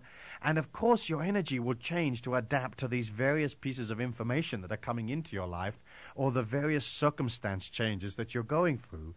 But as you go through the day, you will understand that there's an absolute need for you to guard the inner energy, to guard the power around you. And so you would take moments out during the day, maybe during the lunch hour. You would just walk out of your office and you would walk through the parking lot and you would stand next to a tree and you would link or anchor the feeling of the morning. And you would say, now what did I feel at dawn this morning? I felt free. I felt fresh. Okay, the circumstances of the last three hours have been anything but fresh, but here I am. I'm linking back to the power. I'm rebuilding. I feel strong. This day proceeds well. I feel successful within it. Notice that we're constantly dealing with creating an atmosphere or a feeling around you.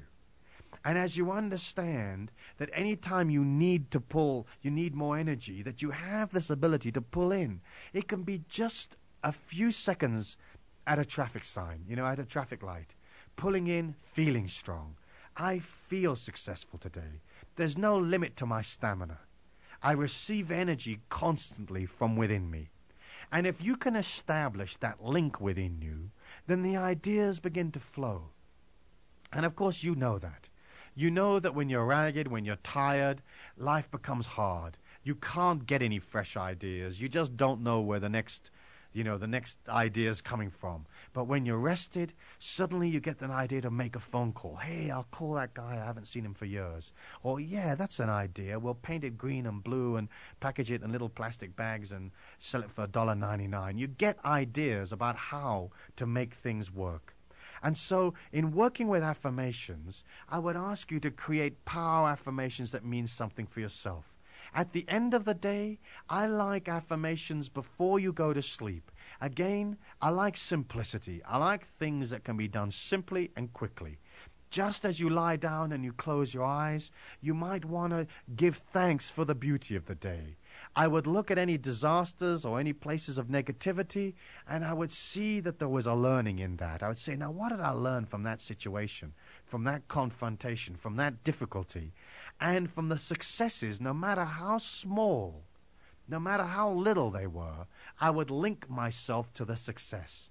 And I would take a moment to review that. One of the techniques that I've talked about on my other tapes, which I just want to review here for those of you that are new, is that at night I would like you to consider going back through the day backwards in your mind's eye. So you'll be lying down in bed in a relaxed fashion, and you would see yourself, you know, putting on your pajamas, having dinner, arriving home from work, going through the working day or whatever it is you did, going right the way through, reviewing all the circumstances of the day, right going back to dawn. And in so doing, you release energy from the psyche. It's a way of clearing out consciousness and allowing the mind to collate and establish what it felt about the day. I believe it reduces the amount of time that you have to do a certain type of dreaming that basically is, is, is sort of collating, processing, and getting rid of the garbage type of dreaming. And I believe that during the night we communicate with our higher self. And if we do not have to be in the garbage, collating, processing type of dreaming, it allows us a deeper entry to the true spirituality within us. I believe at night that if we, we have the ability to travel back into those dimensions and really look at the real us, to look at our true motivations, to look at our true goals, and to look at what it is we want to become at night. Using this night process, you can often ask a question of the inner you, the higher self, or the God force, or the guiding light that is there within you, or the guides that are a part of your life. And the way you would do that is you would review the day backwards, as I've just said, and then you would put up the thought form or the question that you have. You know, hey, what am I supposed to be doing with my life? What is the strongest path? Shall I marry Harry or shall I marry Tony? You know, whatever the question might be. And then you would come forward with some kind of affirmation that might say something like, May the power that guides me show me the way, and may I see the answer to the question that I pose. Then put the question up in your mind and understand that within the infinity of all things, we can never understand how the process works. But usually you will find that the answer of the question is in your mind in the morning. And if it is not, it usually presents itself during the day. It shows you. Often it shows you by not showing you. It shows you by there being no answer. And so when you look at the no answer, you say, well, what kind of no answer did I receive? And the kind of answer you received was, do nothing. Because if there's no answer, then the answer to your question is nothing. And the answer to nothing is do nothing. And often the answer to your question will be, hey, in this situation, wait. Do nothing. Pull back. Wait, and it'll unfold. Okay, as we go into this night mode, we understand that the night time is not just this place where we refresh the body. Something can be going on in consciousness, and you can set it up so you can allow the night to be there for you to allow the darkness of the night to allow you to, to create within you progress so that you are touching deep within you and you are collating and understanding and processing your light, your night. An affirmation I sometimes use is, may the dark of this night allow the light within me to shine ever greater. For I'm eternal, immortal, universal, and infinite. And another one that I like is uh, an affirmation that throws out the thought form. You know, may I go out into this night and be a part of all things. May I serve in whatever way I might serve. May I learn in whatever way I might learn. May this night be for refreshment, for healing. And finally, as your eyes close and you're dropping off to sleep, you would consider something like, May the rest that I experience this night allow me to awake refreshed, positive, loving, and ready for a new day. And so be it. And so, as you work with words, you begin to understand that you're pumping power, you're pumping energy. Thought forms have various degrees of power. You know, certain thought forms have no power at all, and other thought forms are extremely powerful. As we look at that, we're going to discuss five ways of developing thought power of developing intensity so that your thought forms move from consciousness into reality, into physical reality where you can experience them. In thought form empowerment, we will look first at life force. You are basically a quantum or a totality or a, a bunch of, say, life force. The thought forms you create are empowered by you thinking them, but they have within them also intrinsic life force.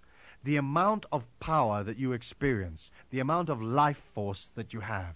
And you know what it's like. You've met people that have incredible vitality and others that are like as dead as a wet flannel.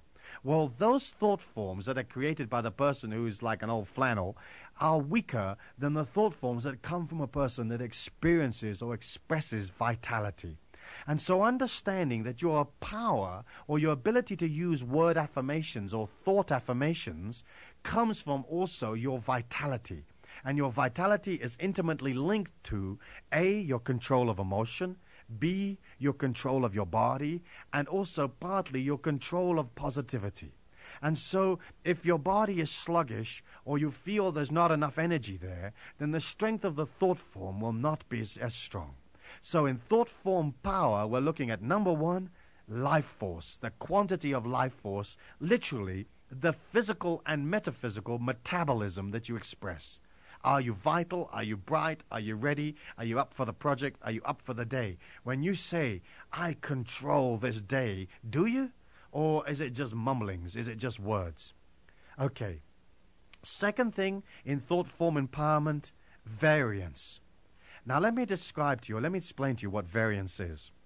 We live in the contents of our belief patterns, and much of what we believe or that we think about is fantasy. It is not actually real. We fantasize maybe being in the Super Bowl and, and you know creating the winning uh, the winning uh, touchdown, uh, the winning score, or we fantasize a great love affair, or we fantasize being on a beach, but we do not actually live it or believe it. We know that that is not something that is going to happen to us. It is a way the mind has of playing, of of of of, of just messing about. Okay. The difference or the, the gap between the fantasy part of you and the real part of you is the variance. And if the variance in your life is very, very great, what happens is that most of your power or most of your consciousness or most of your thought power is dissipated in fantasy and very little of it is centered in the now, in the reality. And so you live, basically speaking, an unreal thought form position or thought form layer. So there are around you basically a degree of non-reality. As you understand this, the complexity of this concept of variance, what you would do to strengthen your thought form power would be reducing the fantasy and coming back within yourself to being real hey, what is actually real in my life? Okay, this does not mean that one cannot dream about some place that we're moving to, or a love affair that we might be in, or a beach, or whatever. We can have our daydreams, but we cannot live in the daydreams. Because if in consciousness you live the daydreams, then the variance is so great that when you try to materialize the, the daydream, it has already been created on an inner level and you've spent the energy. And so the variance is saying, hey, it's okay to fantasize, it's okay to dream, but let us bring it back tight. Okay, the real reality. Hey, where am I today? What is the dimension that I am in? What is actually the stock that I have? Where have I got to so far? A lot of people want to be in a sort of stardom consciousness. They, they you know, they want to be discovered. And perhaps you've had that thought. I certainly remember that when I was when I was younger, hoping that somebody would like come along and scoop me up, so to speak. Well, nobody will ever discover you if they have no reason to discover you, if you haven't done anything, if you haven't got anything going for yourself, if there's no vitality there. And so if you live in that sort of stardom consciousness, you're living in a variance and it'll never happen.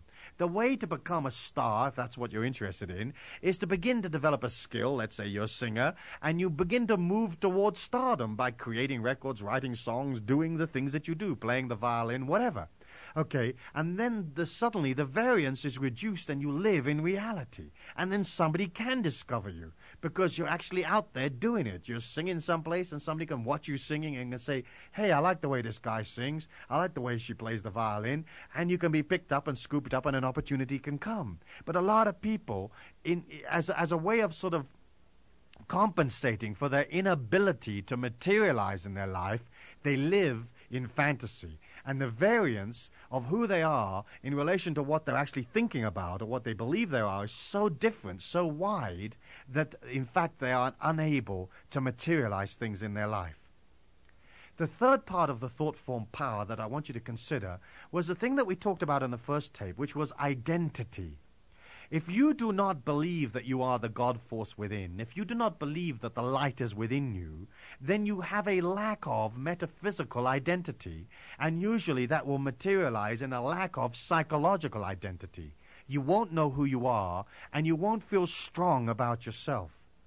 Okay? So, identity is basically knowing that that infinity is within you, and that infinity grants you the right to be here. It grants you the reason for being on the physical plane, and it grants you to be a special individual. Okay? Alright, as you look at that, it's not so important in the early part of your life, because in the early part of your life, you're basically collating, looking at, experimenting, deciding who you are. But in later life, especially once you cross, let's say, the age of 30 to 33, and you begin to really consolidate who you are and where you're going in life, it is especially important for you to have a strong identity of the infinity within you. That is important. Okay, so identity is particularly important. I'm going to talk to you now about congruence, space time, and concentration, but I'm going to have to turn over to the next side of this tape to handle that. So if you'd be so good now, I would ask you to turn the tape at this time.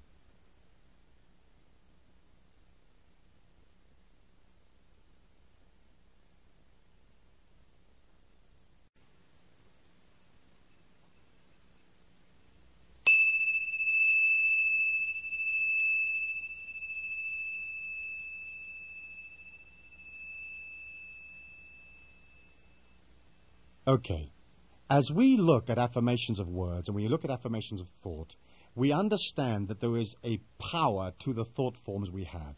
Weak thoughts, strong thoughts, thoughts that materialize in the physical plane, and thoughts that just dissipate out, almost like mist, and it just disappears and is gone in the cold light of day. Okay, we looked at identity. The fourth part of, or the next aspect of this thought form empowerment, uh, we have to look at congruence. And congruence is basically rides hand in hand with identity and is actual fact maybe a, a, a sub-subject to identity or, or sort of the B-side to identity. It's not saying, look, I am the God force within, and then the congruence is you living and breathing it. Feeling beautiful no matter what you have in your life, no matter how pretty you are, feeling positive, feeling that there is an eternity, feeling that there is a meaning to life, and living it. Becoming congruent with the identity within you. Saying, hey, I'm eternal, immortal, universal, and infinite. I'm not this physical body. I'm not the problems. I'm not the financial. I'm not my children. I'm not the, the tribe I live in. I'm not the religion. I'm an identity beyond all of that. And so identity and congruence ride hand in hand because first you identify with it and then you become it. It is almost like you express it from every part of you. You may be a total weirdo, but at least you're individual. You know? And people might say, well, you know, she's a bit strange, but she's individual. And she does these very individual things, and she is an individual. We have to say that for her. So congruence is literally living and breathing the identity that you've established, okay? Moving on from congruence, I want to talk to you for a moment on space time. You live in a continuum of space time. There is a place where you are and a place where you are not. And you are within time. The mind created time as a way of measuring. Basically speaking, the inner you exists in the eternal now. Now, you can have a thought form that is in time or in future time, but the inner you is not in future time. And so, if a lot of your thought forms are in the future, what you're basically saying is, it will never happen. I am placing this thought form out ahead of me because I do not believe it will ever happen. In order to create change, you have to have it in the now, and you have to feel the change in the now. Because there is no future self, basically speaking. It is the now. And you can say, but okay, Stuart, there's a point where next Friday is going to be next Friday. Yes, but you cannot create a thought form that will create next Friday. All you can say is, okay, next Friday, I am going to go and have lunch with my boyfriend, let's say. Okay, so you're going to go meet this person that you love next Friday, and you can visualize that, and you can see yourselves arriving at the restaurant with your loved one, and you can see yourself sitting there. However, on Friday, he turned up late. You didn't go to the restaurant. It was raining. The restaurant was full, and you went to the movies. You see, as you look at creating future thoughts, what you're actually doing when you're thinking about the future is fantasizing or guessing what it might be. In fact, the future comes from within you, but it comes from the eternal now each day. And so you're moving from one eternal now into the next eternal now. If your consciousness is very future oriented, you're basically dealing with variance again. You're dealing with living in a consciousness that is not real, that is not what is actually happening. What is actually happening is where you are right now sitting here or standing here or driving in your car or whatever you're doing, the eternal now. And so to deal with the space-time continuum thing is, is to understand that the inner you is creating the future. The inner you can say, hey, yeah, you know, next year I'm going to be an architect. But if you spend too much time fantasizing it, it doesn't happen. What happens is to empower the thought, you have to live and breathe architect right now, even if you're not an architect yet. You have to live and breathe abundance even if you're not abundance. You have to feel healthy even if your body's sick. You have to feel beautiful even if what you have around you isn't that beautiful. And so we're looking at creating it in the now so that it can materialize in the future. Because the future is actually the future present, not the future future. There is a gradual state of becoming, and each state of becoming builds on what went before. True. But your consciousness has to be centered in reality in the now moment. And many people have a tendency to drift into the past or into the future. The future is fantasy, the past is reminiscing.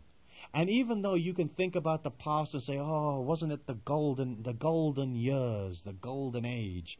All of that does not change now. In fact, the very thought form of "Oh, yes, I can think back to those golden days" is you saying today is not golden. Today is not one of those golden days. Today is lousy compared to, hey, how wonderful it was, you know, 20 years ago. And so we're looking at, with affirmations, of creating a personality or creating a consciousness within you that is living in the now. Finally, the last part of thought form empowerment is basically speaking concentration. And I don't mean it necessarily in the sense where a person would say to you, concentrate on the subject. Concentration is basically the density of the thought form. There are two parts to concentration. There is consistency and there is density. Perhaps I should talk about consistency first. Consistency is basically you layering one thought on top of another. I feel good today layered on top of a thought form that says, I'm eternal, immortal, universal, and infinite. I control my life. Consistency is coming up with something that you want and holding that intention and layering it once over the next and over the next. Not irritating the thought form, not pining, not having negative yearning about what it is you want, because that will actually push it away from you, but gradually moving in a measured way, in a measured step, layering one thought form upon another. I want to achieve this particular goal in my life. I feel good about the goal. I'm moving towards it. Today I'm layering some consciousness in that area. I'm taking some action. I'm moving in a measured way, layering one thought form upon another. And that allows a concentration of thought forms around you that hold that intention. Consistency. A lot of people will head off towards a goal and they'll become distracted. And perhaps you have in your life, where you've headed off towards something and you sort of halfway through forgot what it is you were going for. Consistency is saying, this is my goal, and I'm moving towards it, and you're layering the thought forms or feelings within you into the eternal now and saying, this is what I have, this is what I'm going to get. The second part of concentration, dealing with thought power, is basically density or intent. As we said before in the previous ta- tape, there have been times in your life where desperation has saved you. Okay, if you understand that certain thought forms are very sort of wispy like, if you saw them, you would see them like mist because they're fantasy, they're gossamer, they are these sort of daydreams. And then there are other thoughts that have high intention. The high intention thoughts have greater strength and greater density than the wispy ones. And the density or concentration of your thought form helps you to pull that thing to you. You see, you put around you this, let's say, this very in, strong intention, okay? And you walk out into the physical plane, and around you is all consciousness. There are other people that have various forms of consciousness. And usually, to materialize what you want in life, there's going to be another person involved. They're going to give you the money or give you the thing or they're going to be the soulmate that you're looking for, whatever it is. There is consciousness out there. You, living in a sea of consciousness, if you have tight and powerful thought forms, it pulls to you stronger. And so concentration deals with consistency and it also deals with intent or density of the thought form. And that is important, for it allows you to pull quickly and easily from the energy that is around you. Okay, as you develop word affirmations, you develop thought affirmations saying, I feel good, thinking you feel good. We next go on to establishing a feeling or an affirmation of feeling around you. Words are strong, thought forms are stronger, feelings are even stronger still because feelings are what create the dimension around you. And when you think back to a time in your life that was pleasant, you will remember the feeling. You'll remember, let's say, a home that you lived in 20 years ago, and you won't necessarily remember whether the, the walls were painted pink or blue, but you'll remember how it felt. If you think of a person that you haven't seen for a long time, you will not necessarily be able to remember their face in minute detail, but you'll be able to remember a feeling of an aspect of their personality. The way they laughed, the way they moved their eyes, some kind of little move, movement or gesture, the way they walked. There will be a feeling that you remember. Basically speaking, you live in a dimension of feeling. Dealing with power affirmations of feeling, what you're basically going to look at is coming back to the same theme over and over again of establishing control, and through control, establishing freedom. This involves discipline, it involves dedication, and it involves you looking at those parts of your life that you do not control and asking yourself, why don't I control it? And then, if you don't control it, let us move towards controlling it. In feeling affirmations, or in dealing with feeling affirmations, we're going to look at affirmations of feeling in control of your body. Okay? You have to feel secure there because if you feel you're dying or if you feel some incredibly exotic disease is developing in your toe or something, then how can you feel an affirmation of power? You can't. So number one is control of the physical body because if that stops, your your progress through the physical plane stops with you. Okay? Secondarily, you're going to look as you move through the day of a feeling of control of emotions. Okay? Now, this does not mean you cannot have emotions, but it means that you're going to try to establish a control over your emotions. That things are not going to seem so horrendously large or so horrendously difficult. You know, if the house burns down, eh, we'll move to another. You know, if the car won't start, I'll take a taxi or I'll walk. If so and so doesn't show up, that's fine. I'll sit here in the park and wait for them until they do show up, and if they don't, that's fine also. Developing a feeling about a life around you that whatever happens is fine, that you feel in control. You know, and if you walk down through the day and you have a plan and suddenly the plan changes dramatically, that wherever it is you're going will be okay. I'll be fine when I get there. I will feel the power within me, and I will understand the vibrancy, and the vibrancy will be beautiful.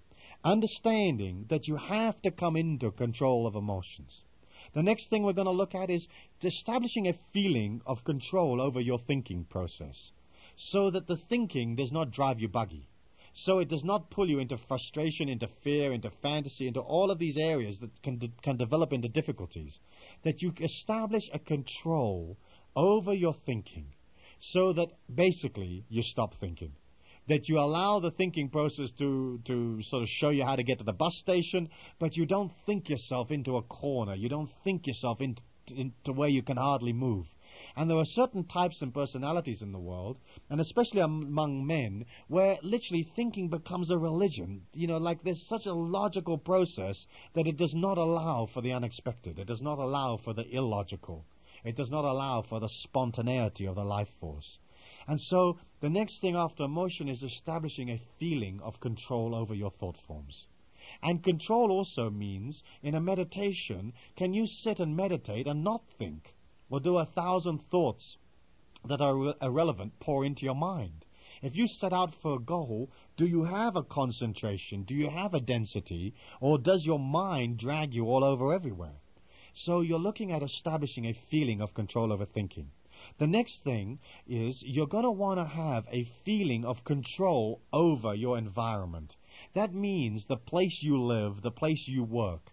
It has to have beauty. It has to have life force. It has to have freshness. It has to be a place that endorses you, a place that you control. You know, a place where you are in command. When you walk into your home, you can shut the door and there is sanctuary. Your home, home is warm, it is comfortable, it is fresh, it has beauty, it has caring, it has love, it has life force within it. And so I would ask you to look at the environment and say to you, does your environment create within you a feeling of security? A feeling of that freshness, of that healing, of that rejuvenation. If it doesn't, then let us look at moving. Let us look at changing it. Let us look at putting some energy into it so it becomes what it is you want. The same with your workplace. If you work, if you're an average working man or woman, you're going to spend a third of your life working.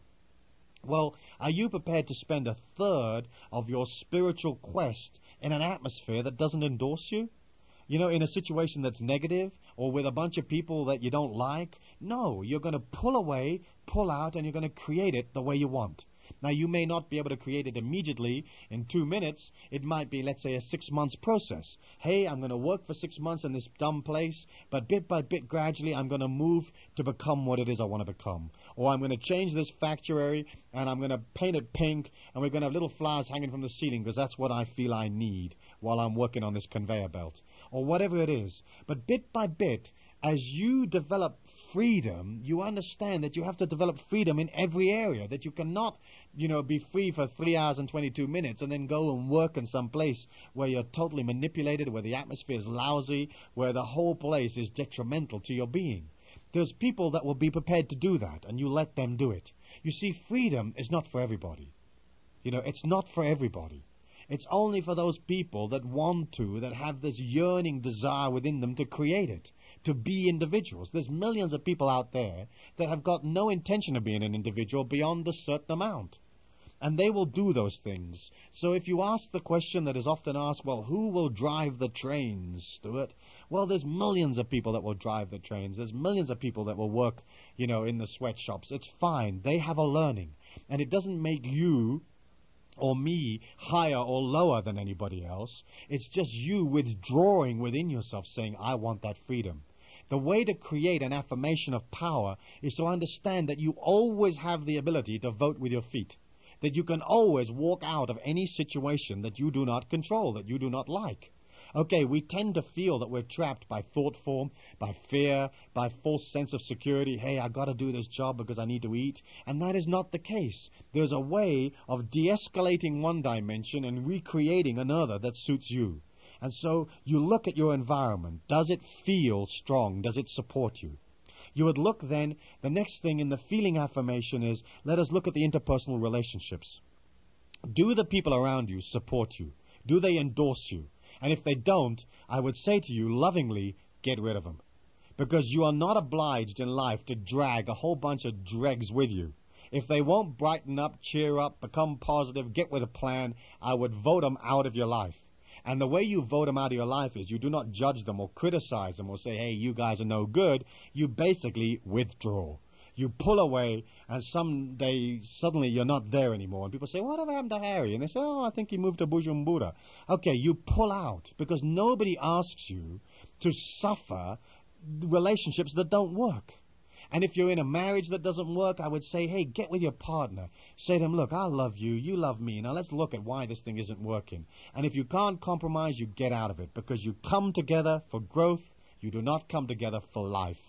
Okay, if you're growing in a relationship and it suits you and it's helpful, great. If it's an absolute drag, try to fix it, try to work with it in some way or other, and if you can't, vote with your feet. That is your power. The power to move, mobility, is the way that you will establish control of your life. Okay, moving on from interpersonal relationships, you would look at next thing of creating a feeling of abundance around you, of finances being under control, of you having a certain amount of money coming in. You've got to have a love of money. Because if you don't, you're never going to have the wherewithal to do the things that you want to do in life. And there's a whole world to see. You're living at the time of the greatest creativity in, in humankind, and you're going to need money to enjoy it, to experience it. You see, to go through the physical plane, you do not have to become a master of every aspect of it. You just have to have experienced it and taken it into your consciousness. So you do not have to understand Spanish and the whole Spanish history to understand that energy. You can just go to Peru, go to Venezuela, stay there for a week, get a feeling for the place, get a feeling for the people, try to understand as much as you can, and you've locked it into your consciousness and you've experienced it. So you've got that whole world out there literature, music, art, television, films, travel. You've got to be a part of it, and you're going to need money to be a part of it. There's no other way. Okay, moving on from for money, we're looking at creativity. You're going to want to feel a feeling or an affirmation of creativity. Hey, what am I doing? Because basically, creativity is a physical manifestation of the God force. And so you're going to want to have creative ideas and develop them and bring them into the physical plane. And that is your gift for the physical plane. No matter what it is you do, whether you fly an aircraft, or you you're a surfboard instructor, you teach people to go surfing, or whatever it is that you do, you're a writer, or you, or you calculate things, or you drive a bus. There's a creativity that you can bring to your life. And there has to be a feeling of creativity because that feeling of energy coming from the inner worlds and coming out through creativity empowers you. It helps you to feel in control. The neatest thing, I think, is to develop a creativity and to find a way of selling it to people so that they accept it and they give you money so that you can be supported doing the thing that you love to do. Once you get to that position in your life, then I would say to you, let us do what it is we love to do and let us become as good as we can at it. Let us become crafty in our craft and become good at that. And finally, in affirmations of feeling, we're looking at creating a feeling of controlling the totality of your life and you would be almost like a sort of a security guard on a big estate. You would be constantly patrolling your life to make sure that each part of it is designed to support you, to endorse you, to make you feel strong. And when it isn't, you will go in, you will try to compromise, you will try to work with it, you'll deal with it in some way, and if you can't change it, you withdraw. Affirmations of feeling is basically feeling strong. Taking a moment each day to feel free. Hey, I'm free. And I'm doing whatever I'm doing from choice. Not because of fear, not because of security, not because of manipulation, not because of obligation. I'm doing it because I want to do it. Taking 10 seconds to feel free. Taking 10 seconds to feel independent. Hey, I might be a bit of a weirdo. I might be a bit of a wacko, but I feel independent. Okay? Taking 10 seconds to create within you a feeling of self confidence. And you can never tell somebody, hey, be self confident. You know, it's like saying to somebody, don't be scared. That's silly. But self confidence is basically that power mode again, you developing one success after another, living in your triumphs, and taking time to learn from your disasters and releasing the disasters as quickly as possible. Taking the 10 seconds of feeling self confident. You know, you stop someplace, just feel powerful, feel the energy exuding from your body, and say, hey, I feel confident about the way I'm going through this physical life taking 10 seconds to feel assured all is well. It'll all be all right on the night. It'll all be okay. This inner power within me, the Lord, the life force, the God force will provide. And I know because I take enough action, because I do enough things, because I have a craft or craftiness, that it'll all be well. Feeling assured. An affirmation, 10 seconds that feels worthwhile. What I do is important. I feel empowered. I only plant pea pods in little rows, and that's what I do for, for my life, but I feel this is worthwhile. I feel a strength, I feel a need to be here. I am here, I am what I am, and what I am has beauty and strength. Ten seconds from time to time to stop and feel worthwhile. Ten seconds to stop and feel creative, remembering those things that you've done that are creative and feeling them. And ten seconds to feel that you are a part of all things. I am truly eternal. I'm a part of nature. I'm a part of the wind. The wind blows through me, through the freshness of what I am. The sun rises from within me. The vegetation is a part of my life force. I'm a part of all things. I am the spirit of the wind. I'm the spirit of nature. I'm the spirit of the earth plane. I'm the eternity. I exude a non infringing, non critical love. I allow my self independence and I love everybody else because I will allow them also to be free, to be independent. I will not infringe upon them. That is an affirmation of feeling. Having established that, layering it on top of the thought, on top of the word, on top of the power mode, you finally move into what I would describe as the mastership of life. You become a master of the physical plane. You don't know it all. You haven't experienced it all. You still make mistakes. You're not a holy moly on a mount somewhere that people are coming to listen to, but you understand the physical plane. You have within you fluidity. And fluidity is important because you have to be able to feel that you can move. You may not choose to move, but you have to feel that you can, that you can go from one country to the next, from one state to the next, from one culture to the next, that you can take your energy pattern any place and you will feel safe, you can create around you abundance. You can move. I feel fluid in this situation because I control a hemisphere of influence that is very large. I control a hemisphere, a physical environment that has a lot of wherewithal within it. As you deal with that energy within you, you come into what I call an affirmation of essence. And an affirmation of essence is you basically being your affirmation. Not thinking it, not saying it, not developing a 10 second feeling, but your life is an affirmation. There is a linkage or an anchorage. Your power plays, your power modes have become so strong that you can look at your entire life and you can say, This house I live in is an affirmation of what I am. This car I drive is comfortable, it's strong, it's pleasing, I like the sound system. It's an affirmation of me feeling mobile, feeling abundant. My body, it feels strong. It is an affirmation of what I am. My thought forms are in control. I don't accept negative thought forms, and when they come up, I take a moment to bat them down again. I feel fear, I feel insecurity, and I stop and I say, I don't accept that energy pattern. I'm eternal, powerful, positive. I feel good about myself. And bit by bit, the affirmation of essence is you linking your entire life to this crescendo of energy. Is the beingness, it becomes the beingness of all things being real. That is living in the now, seeing where you are, seeing it beautiful, and knowing you can move forward. It is being open, understanding that you have a power that the average man and woman does not have. And so you have to be open. There has to be a feeling of, I'm open. I'm open to receive more information. I'm open to change my belief patterns. I'm mo- open to moving. I'm open to the people. I'm open and I'm ready being magnanimous that comes from being open. A feeling that you are not dealing with a limitless supply. So if a guy says, "Hey, can I borrow your your low, your lawnmower?" You say, "Yeah, take it, have it if you want. I'll get another." A feeling of magnanimousness that there's no limit to how much you can do, how much you can achieve, what you can become in this lifetime dealing with an affirmation of essence. Next, we would go on to being spiritual, understanding that the physical plane, with all its trials and tribulations, is basically this glorious journey that you're passing through. And you develop within you a path of power that deals with you understanding the world and its spirituality. That you see pain not as pain, but as learning that you see difficulty not as difficulty, as challenges, and developing a spirituality and understanding that you are going to celebrate your triumphs.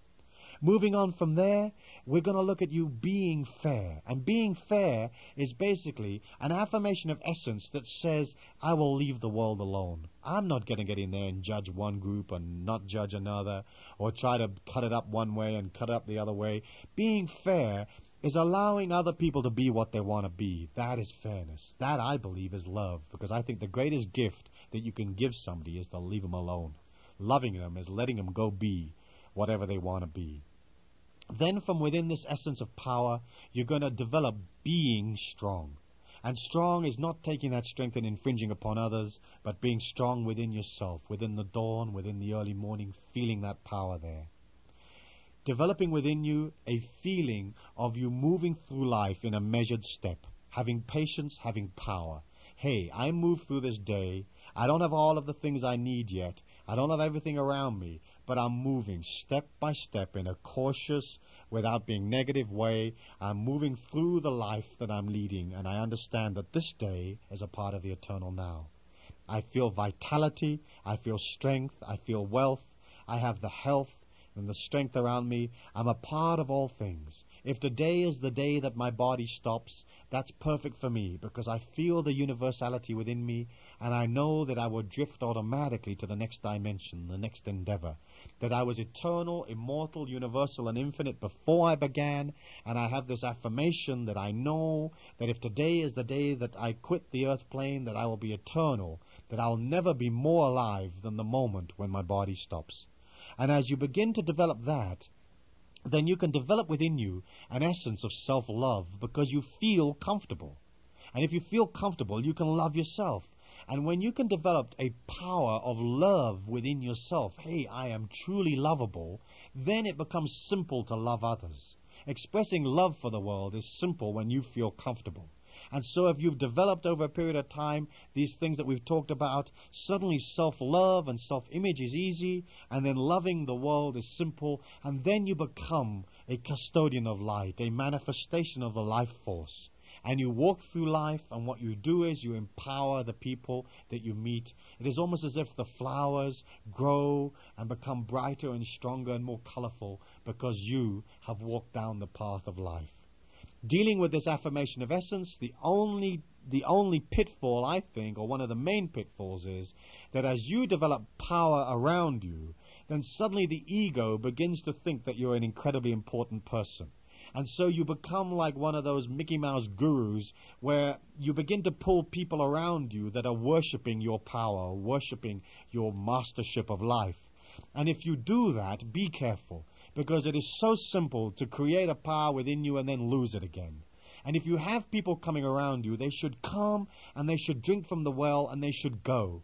Once there's worship, once there's relying, once they start pitching their tents literally around you in the garden around you so to speak metaphysically then suddenly you become the god force for them rather than, than them seeing the god force within them and then suddenly all of you have all that garbage that comes about through spirituality and people come and they see your power and then suddenly you will get you will drift back into manipulation you'll drift back into being the great guru, the great teacher, and you'll you'll you know you'll find yourself manipulating the people, you know, controlling them, giving them a thousand do's and don'ts, and they swap one dumb bunch of beliefs for another dumb bunch of beliefs.